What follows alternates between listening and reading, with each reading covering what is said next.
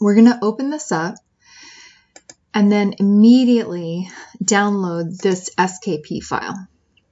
Then I'm going to hop over to SketchUp and I'm going to open this, um, this SKP file in SketchUp.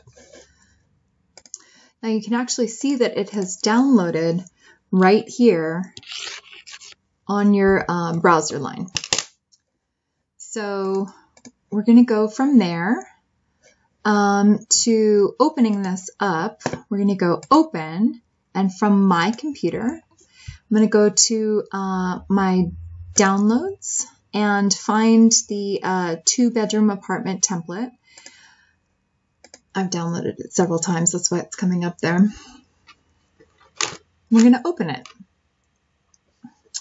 And I'd like you guys to save it. We're going to go up here to the burger. We're going to go save as, SketchUp, and then I want you to save it as two bedroom apartment uh, PBL. I'm going to save it there. Um, okay, so now what I'm going to do, I'm going to spin this around.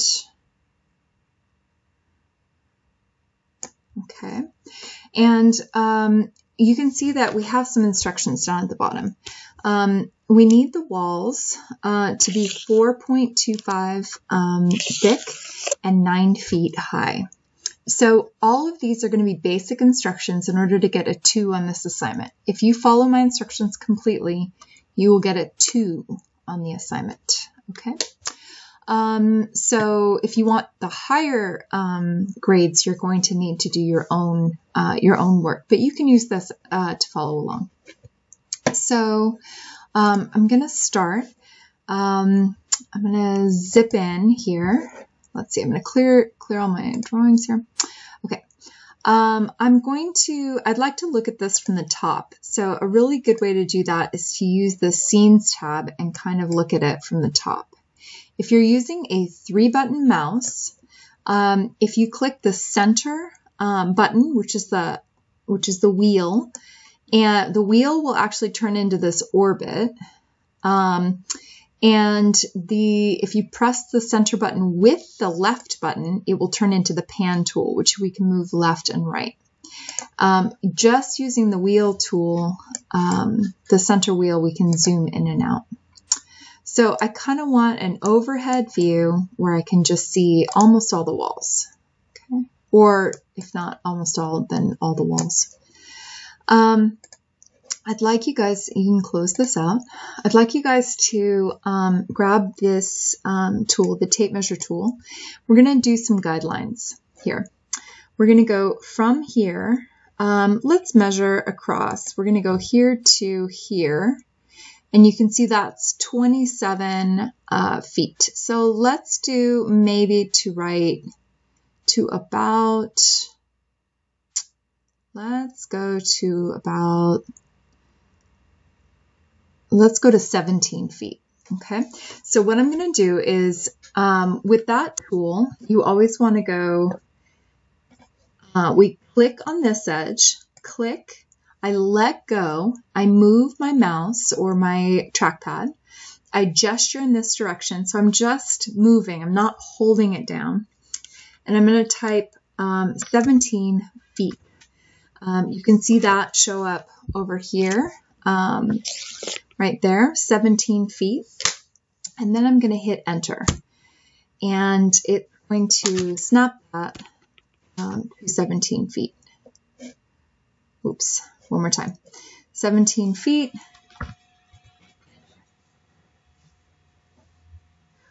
Maybe it's having trouble with the um, the annotation. Sorry. I'm going to clear that out one more time. Um, okay. Up like this, 17. Just a minute. Okay, one more time. So, measure right here gesture in this direction, type 17 feet, hit enter, and it drops that guideline right there.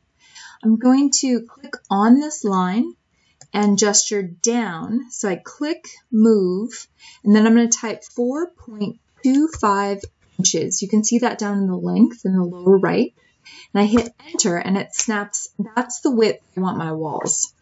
Um, normally walls are four and a half inches, but it works really well um, to do 4.25, just to give yourself a little bit of breathing room. Um, we're going to do this again.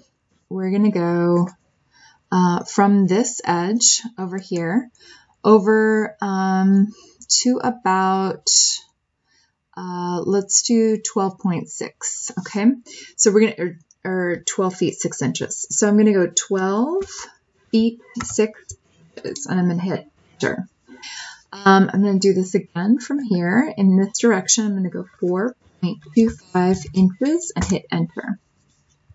And from this side, I'm going to go back this direction um, and uh, go about 12 feet 6 inches. You can see that down in the length in the lower right hand corner.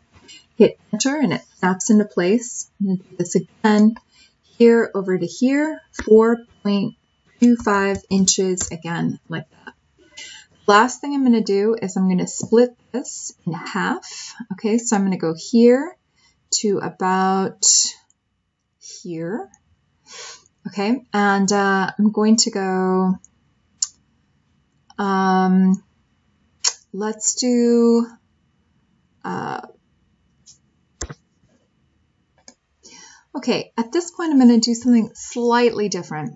Uh, I want to tap the L key, um, and that is going to um, give me the, the line tool. You can also select here on the left. I'm going to go from here, from this intersection up to this edge and hit intersection again, and that, um, and then tap the space bar. Then I don't get that trailing line. Going to give me a solid line that I can actually find the center for. So that center is, uh, if I hover over it uh, with the tape measure tool, um, you're going to see that little cyan dot right there. Okay, so what I want is I'm going to go from this edge, oops, wait, um, undo, redo. Uh, I'm going to go from here uh, down and grab that dot, okay? Um, and I want that dot, that midpoint dot, over to here. Um, actually, I'm going to do it with the line tool.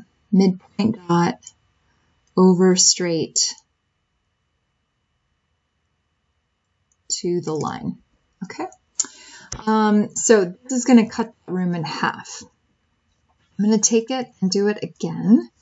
Um, so we're going to use that, that tape measure tool. We're going to go from here um, out, and then I'm going to go down 4.25. going to give me actually all the walls in this whole apartment. Now what I'm going to do is I'm going to fill them up with rectangles. I'm going to type R, and that gives me actually the rectangle tool, and I'm going to zip in on certain sections. So remember, I'm using um, the capabilities of the three button mouse, it's really important to be able to see what you're doing. So we're going to zoom in really small. I'm going to go from this corner down to this corner and draw a rectangle. I'm going to do this again from this top corner, kind of overlapping that line down to this one. Um, I'm going to do it from this corner here over to this one. And I'm going to do it from here down to there. From here down to here. Just filling up all these areas with rectangles. Okay, from here to here.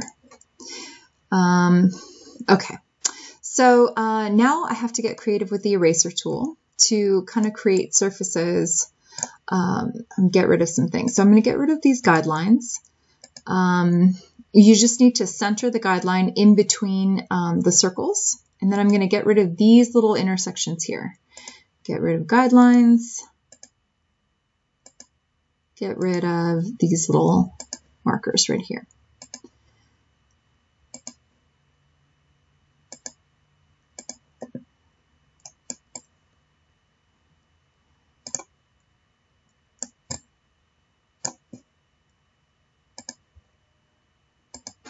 So what I'm doing is trying to create something, a bunch of walls that when I um, when I push pull extrude them, they will create the um, the walls of the apartment.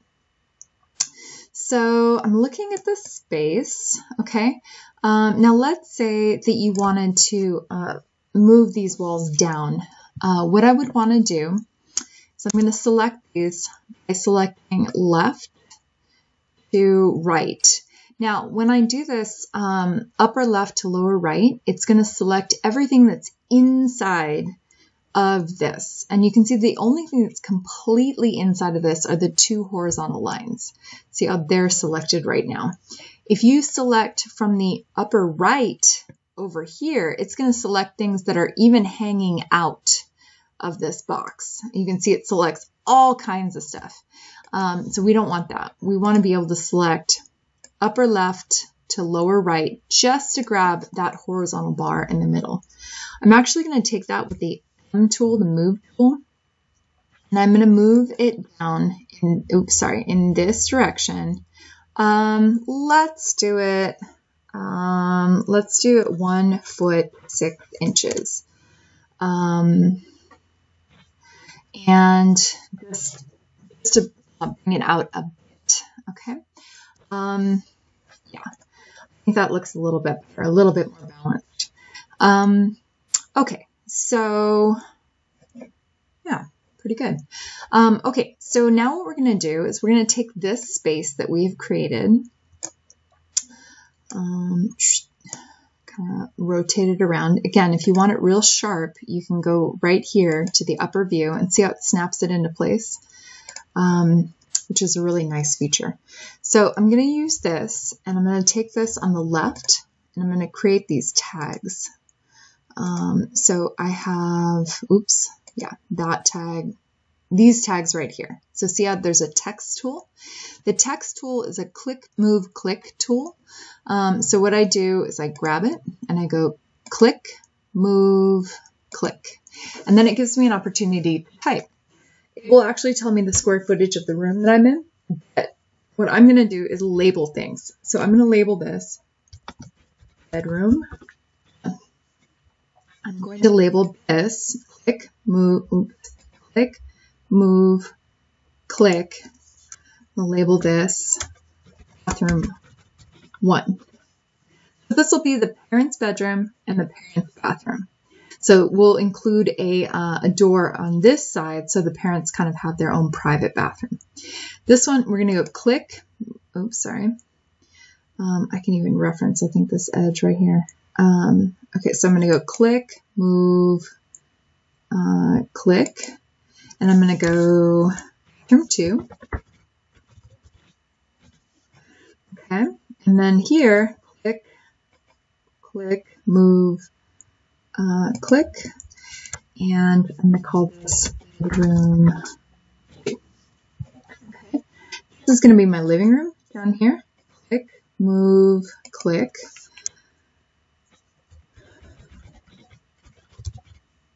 And I go click over here, and then click, move, click, and this is going to be my kitchen. Um, we're not going to put a wall in between there. Um, people like it feels like a bigger space if you leave the walls out um, between the living room and the kitchen as much as possible. So I'm going to move over here, um, spacebar. I'd like you guys, um, it's a way easier for me if you're going to put, well, you can put your name on it. That would be very, very helpful. So um, we'll do that with the tag tool, okay? And just go like this and click, move, click, and then uh, go ahead and hit your name. That will be how I can give you your credit. Um, right, now with this uh, all done, you can submit this for that assignment and you will get a 2. Um, so just create a snip and then um, submit it for that assignment. Um, thank you guys so much. I'll see you in the next video.